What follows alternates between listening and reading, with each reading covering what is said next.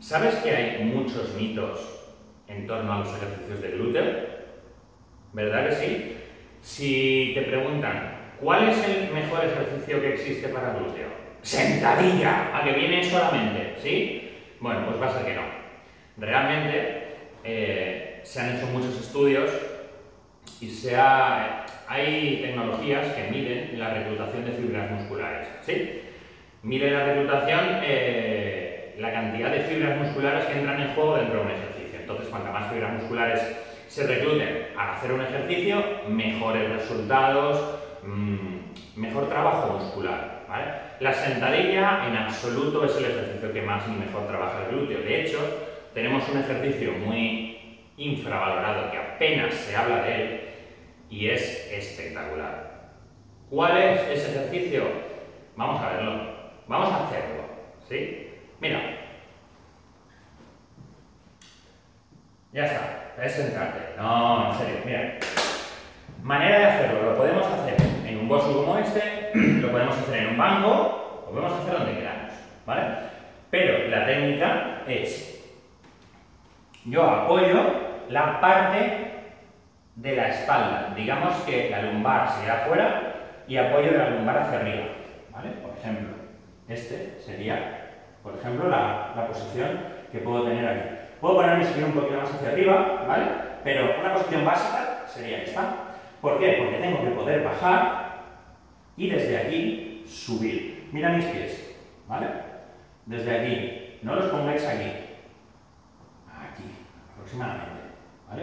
Ir jugando también con el ángulo, porque si cambiáis un poquito el ángulo donde tenéis colocados los pies, igual que eh, la altura a la que bajáis, la altura a la que subís, las sensaciones van a cambiar. No digo que cambie la reclutación de fibras, pero sí que las sensaciones pueden ser diferentes. Entonces, como tú más te lo sientas en el culo, mejor. Desde aquí, subo y bajo, subo y bajo, subo y bajo. Es cierto que si esto me un bolso fuera un banco, yo podría bajar más, subir más, subo al máximo, ¿vale? Pero bajar sí que podría bajar más. Pruébalo, según las herramientas que tengas, también lo puedes hacer. Una manera de eh, maximizar y de que me cueste mucho más, ¿cuál sería? Mira lo que tengo aquí. Barra. Entonces, cojo la barra, si puede ser le ponéis un acolchado, una toallita, algo, y me la coloco encima de las caderas. Tampoco es plan de ponértela en el abdomen y estar ahí, aguantando ahí la presión, ¿vale? No hace falta. No te tiene que cortar la respiración. Entonces, desde aquí, subo, poner la mano para que no se vaya, y así estoy metiendo más intensidad en el mismo movimiento. ¿sí? Esto significa que hay gente que tiene las rodillas fastidiadas mucho. ¿sí?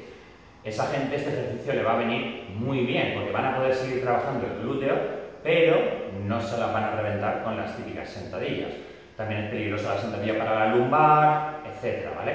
Entonces, esta es la manera de trabajar glúteo, de meter todas las fibras musculares, todas las máximas, eh, en reclutación. Es espectacular. Si lo hacéis bien este ejercicio, descansáis poco entre series y os concentráis en el ejercicio, vais a conseguir unos resultados.